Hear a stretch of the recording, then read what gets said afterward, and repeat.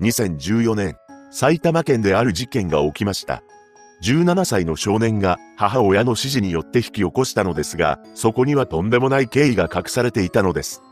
一体何があったのか、詳細を見ていきましょう。後に、本件を起こすこととなる A は、1996年、埼玉県で出生します。彼の両親は、お金にだらしがないタイプの人間だったそうで、借金を繰り返していました。そして、A が4歳の頃に、膨れ上がった借金を踏み倒すかのように、一家揃って夜逃げすることになります。そうして苦しい生活の中、父親は何とか仕事を見つけ、稼いだ金を家賃として母親に渡していました。しかし、母親はそのお金を家主に支払うことなく、パチンコで浪費することもあったそうです。そんな母親でしたが、A にとっては世界でたった一人の母親です。彼はいつも一緒にいてくれる母親のことをいい母親だと思っていました。その後、A が小学校に入学した時期に、母親は水商売を始めます。この頃、父親は愛人を作り、アパートにはほとんど帰らなくなったそうです。そうして、ほぼ母親と A の二人での生活となったのですが、一年も経たずして、母親は働かなくなってしまいました。その理由はホストであり、母親はホストクラブに通い詰めるようになったのです。さらに、自宅のアパートにも友人やホストなどを連れてきたり、元ホストが居候するようになります。そのように知らない大人が出入りするアパートで A の生活も次第に乱れていきました。そのため彼は朝起きることができなくなっていき、学校にも通学しなくなっていったのです。そして A が10歳の頃に両親の離婚が正式に決定します。A は母親に引き取られることになったのですが、そんな状況でも母親はホストにはまっており、1ヶ月ほど帰ってこないこともあったと言います。その後、母親は新しい男を連れてきて再婚したようで、義父との共同生活が始まりました。母親と義父は静岡の旅館で住み込みの仕事を見つけたらしく、静岡県に引っ越すことになったのです。そうして住む場所も仕事も見つけ、A も新しい小学校になり始めていました。しかし、A にとって驚きの展開が待ち受けていたのです。なんと、旅館の住み込みで働いていた両親が働かなくなってしまったそうなのです。住み込みで雇われていたため、働かないということは、そこを出ていかなくてはなりません。そうして一家は埼玉県に舞い戻ることになったのです。ここから義父は日雇いの仕事を始めて、その日暮らしの生活が始まりました。収入がある日はモーテルに泊まり、収入がない日はモーテルの敷地内にテントを張ったり、公園で野宿をして夜を明かしていたそうです。そんな中、できるものができてしまいます。というのも、母親と義父の間に新たな命が誕生したのです。A にとっては妹となったわけなのですが、妹ができたからといって生活が変わるわけではありません。それからもモーテルに泊まったり、野宿を繰り返していました。さらに妹の面倒は A が見ていたと言います。そしてこの頃 A にとってまたも最悪な出来事が起きるのです。驚くべきことに義父が野宿でストレスをため、そのストレスの矛先が A に向けられていったというのです。つまり義父は手を挙げるようになったのですが、このような状況に A はあの世に行けたら楽だろうな、と何度も考えるようになりました。こうして過酷な環境の中生きていた A にさらに負担がのしかかります。何でも母親と義父は A に対し親戚に金銭の無心をさせていたそうなのです。これに応えるように A は何かと理由をつけて親戚から金を得ていました。その後、一家は神奈川県に移り住み、生活保護の申請をして簡易宿泊所に住み始めます。この時期、A はフリースクールに通うことができました。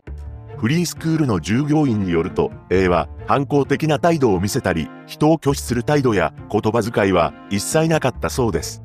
そして仲間に入りたいけれど、なかなかその輪に入れず、ちょっと離れたところでみんなの楽しそうな様子を見ている感じだったと証言しています。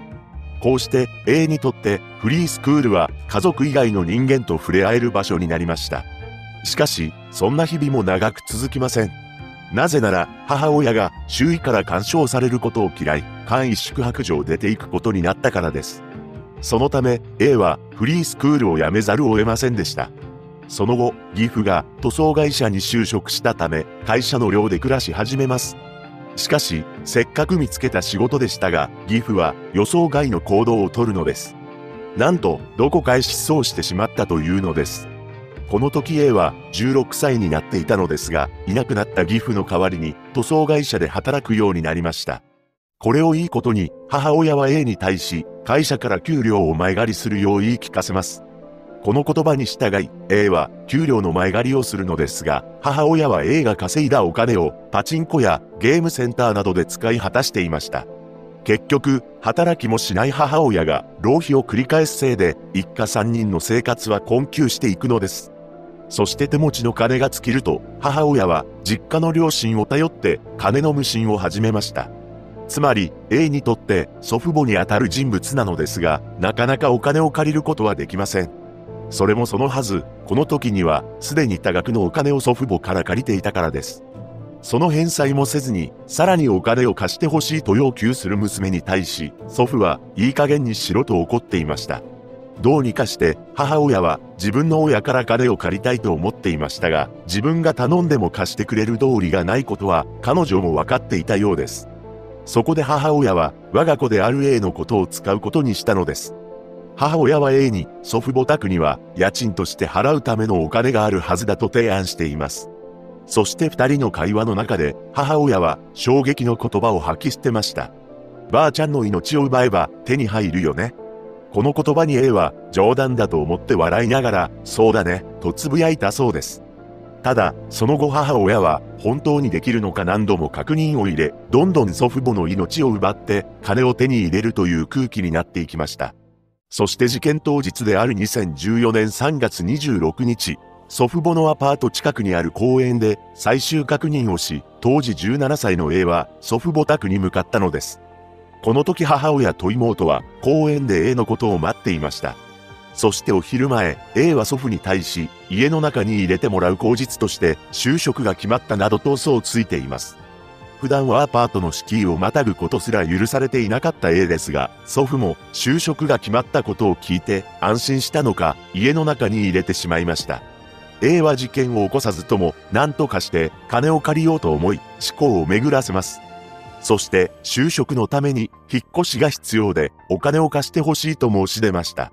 しかし、この言葉に祖父は、また金の話かとぶち切れてしまい、A に手を出してしまいます。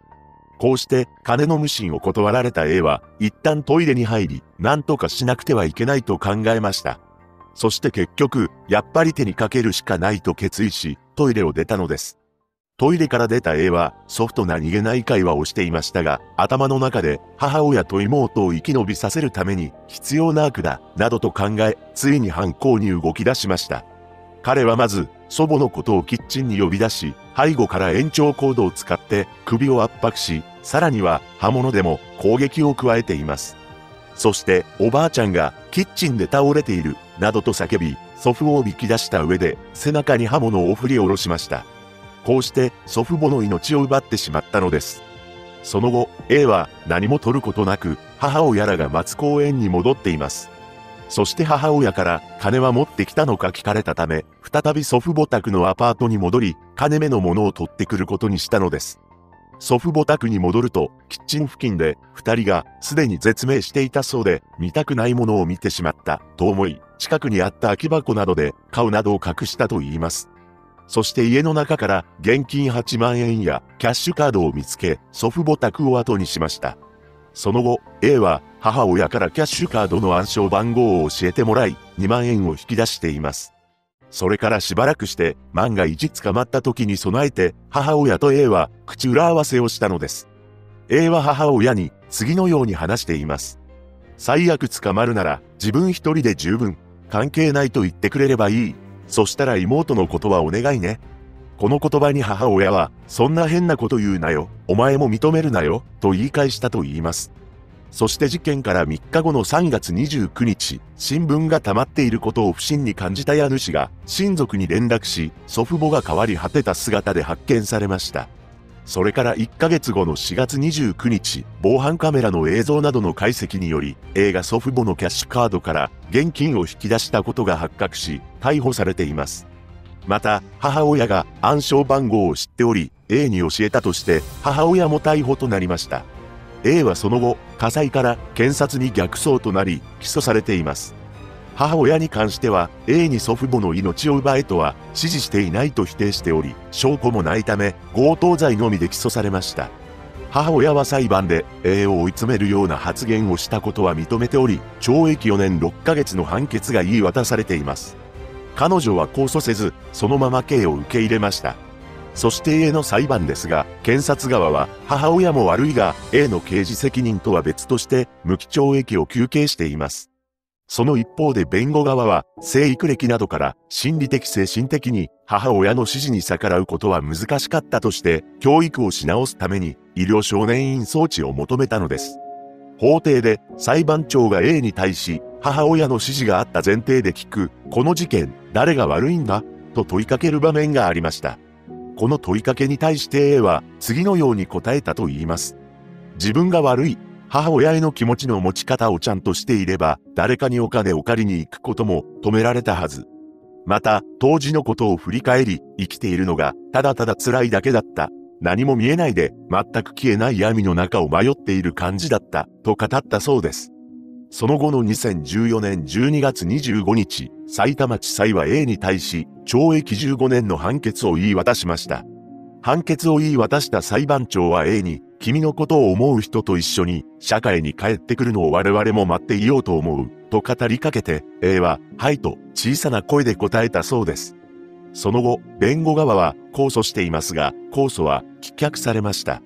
そして A は判決内容に不満はないが、前例を作って自分と同じような境遇の子供たちがいたら少しでも生きやすくしたいとの思いから上告しています。しかし、上告は棄却されたため、A の懲役15年が確定したのです。事件後、妹は施設に預けられたと言います。そしてテレビ局が岐阜の居場所を突き止め、インタビューを行っており、A の母親について次のように答えていました。あいつはクソ、俺から見てもクソだ。また、テレビ局は刑務所にいる母親に手紙を送っており、返事が返ってきています。